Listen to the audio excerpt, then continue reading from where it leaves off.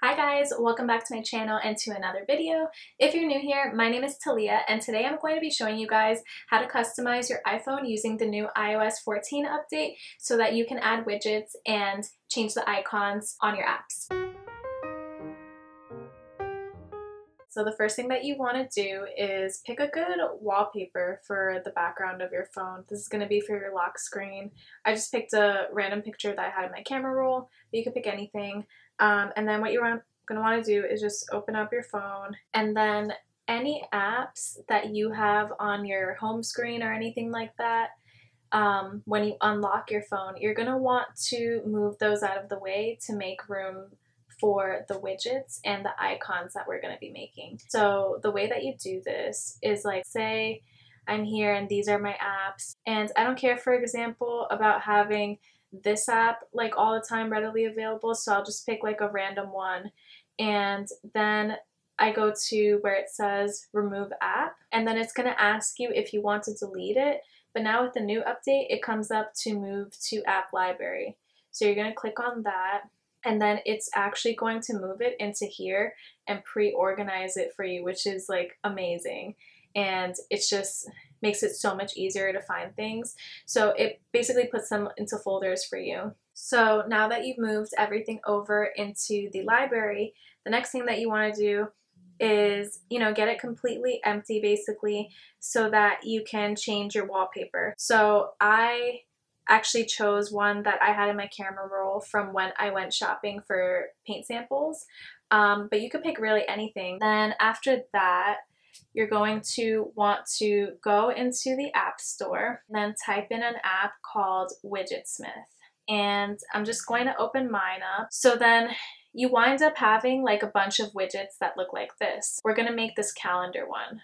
So you go to the medium widgets and then you're going to click that then you're going to set it like that. And then they have different types of layouts that you can pick for for your calendar. So this is the one that I picked for mine. The font that I picked was New York. Then I did a white color. And then you can make your background. You can make it pink or anything like that. So we're actually going to go with the pink because that's what I picked before. And then maybe change this to black. You can add a border if you want. So we could do that and definitely add a border.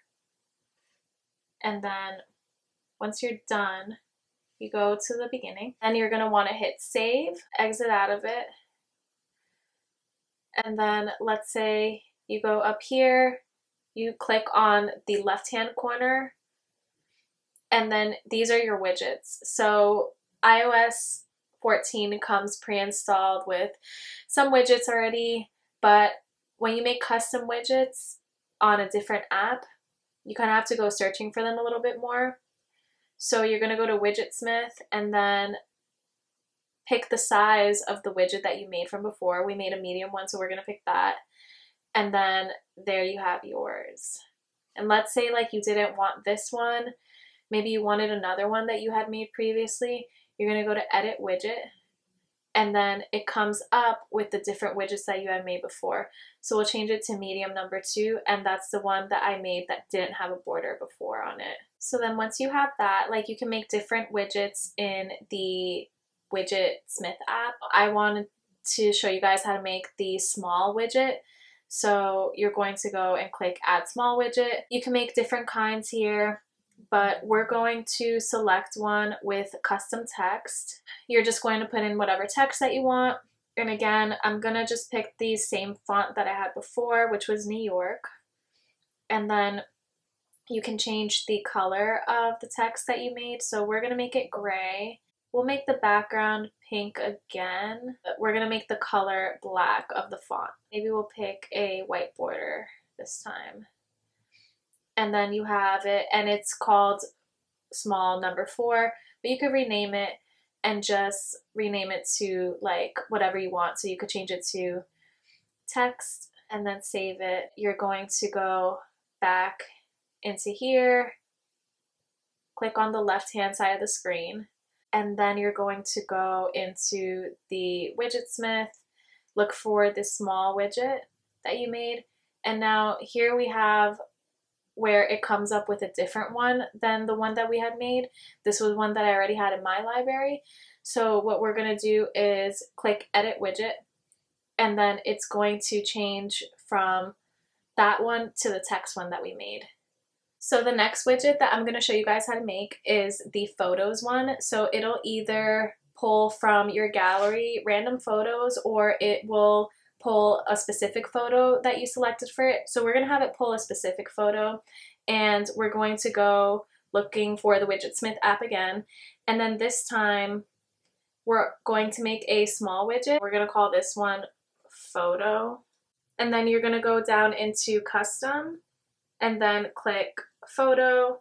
Then underneath it says selected photo you're going to click on that choose photo and then you could pick any photo that you'd like. So we're going to pick this picture of my dog winter and then you hit save and now you're going to go back to your main screen then click the plus sign go down to widget smith again small this time and then it pulls the wrong widget so we're going to go to edit widget and then we're going to pick the photo one and it pulls the photo that you want. So our next widget is going to be the reminders widget and this is one that comes with the iOS update. So what you're going to want to do is press on the home screen, click the upper left hand corner and then you're going to scroll down to reminders and it gives you different sizes. So we're to click the small one. I put add widget and then edit widget because I want my daily reminder list to show up, not my entire list. And then there you go.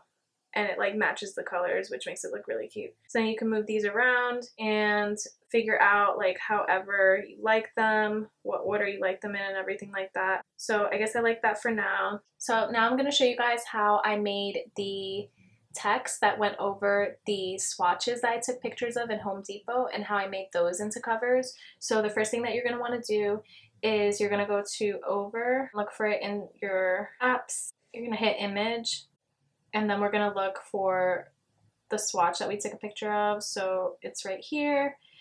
We're going to make it a square dimension one by one and then you're going to type in like the name of the app, make it lowercase and then this one looks kind of cool. So we're gonna click that. We're gonna make the color black because it's easier to read. And then for size, I like to make it really big so that you can see it as you're going through your phone. So you're gonna click check and then hit the save button. And then once you've done that, you're going to look for the shortcuts app and then we're gonna look for open app here. And then we're going to set it to Google Maps. Add to home screen. Click this button, choose photo, this one. That's going to be it. Done.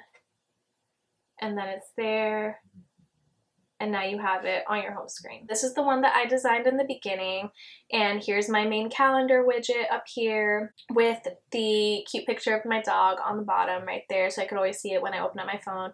Daily reminders, an inspirational message that I just like to write for myself. These are the covers that I chose for my favorite apps that I want to have there. And then I reassign the ones on the bottom to different covers that I made using over with the shortcut method. So that's it for this video. I really hope that you guys enjoyed it. And if you did like it, don't forget to leave a comment below, hit that like button, subscribe, and I can't wait to see you guys in the next one. Bye!